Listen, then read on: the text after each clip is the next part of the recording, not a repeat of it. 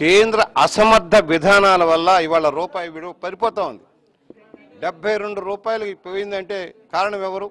మోడీ గారి ప్రభుత్వం వచ్చాక ఎప్పుడూ లేని విధంగా రూపాయి విలువ పతనం అయిపోయింది.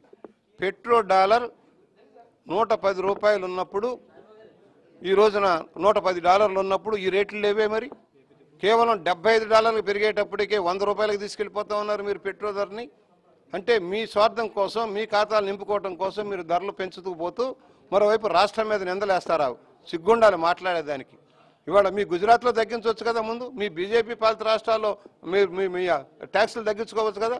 రాష్ట్రానికి ఉన్న ఒకే ఒక ఆదాయం ఎక్సైజ్ ఏదైతే కమర్షియల్ ట్యాక్సెస్ పెట్రోల్ ప్రొడక్ట్స్ మీద వస్తూ ఉంది. అది కూడా మీరు కబళించాలని ఇది ఆంధ్రప్రదేశే నేరం చేసినట్టుగా చెప్పడానికి ప్రయత్నం చేస్తూ ఉన్నారు.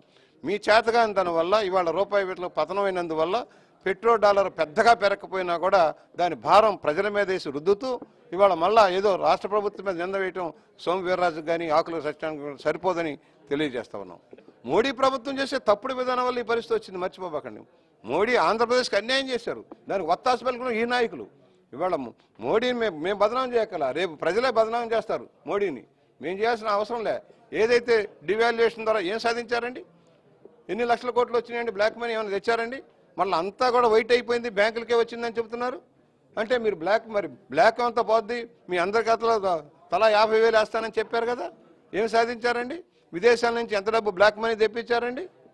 ఇవన్నీ మీ ఊరికి ప్రేలాపంలో కానీ మీరు చేసింది ఏంటి మీ నిర్వాహకం ఏంటి? ఇవాళ రూపాయి విలువ మార్గం పతనమైపోయిందంటే కారణం మీరు కాదా?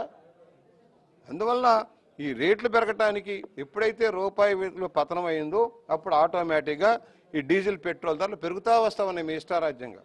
మీరు తగ్గి తగ్గినప్పుడేమో తగ్గించరు పెరిగినప్పుడు మాత్రం ఇష్టారాజ్యంగా పెంచుతున్నారు.